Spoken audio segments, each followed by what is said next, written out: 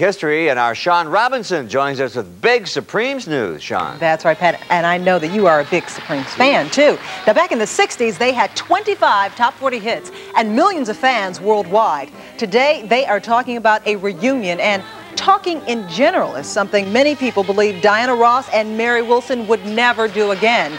The return of the Supremes, today's Inside Story.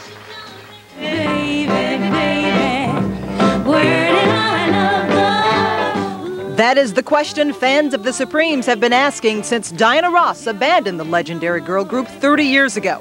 But now, one of its founding members, Mary Wilson, told me a reunion is definitely in the works.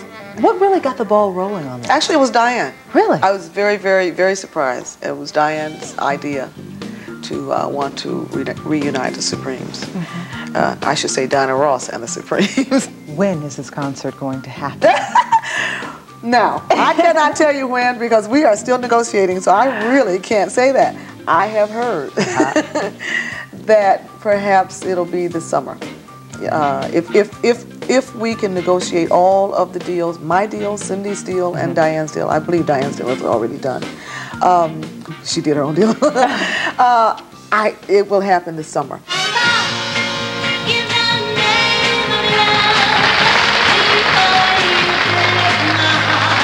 This reunion comes after decades of a much talked about feud between Mary and Diana Ross. The catalyst, Mary told me, was the breakup, the press, and financial matters. Yes, there was a time we were not speaking because of that. But it wasn't because of her not liking me and I not liking her. You know, it was just that we were sort of in that. I was in Supreme, she was Diana Ross, you know. It's like a family kind of thing. You know, you have cousins that you don't speak for a while, you know, but I mean, when, when, when, when you really need them, you know, they're there. When my son died, uh, Diane was one of the first persons that called. Oh, she wants me. Okay, she wants me. Mary, who has two surviving children as well as grandchildren, performed with the Supremes in clubs and theaters long after Diana embarked on a superstar solo career. So to her, a reunion would be a dream come true. This is something that I have dreamt of for many, many years. I've kept the Supreme's legacy alive. I have been the one who, who has nurtured the Supreme's uh, legacy. And so it's something that I really want to happen.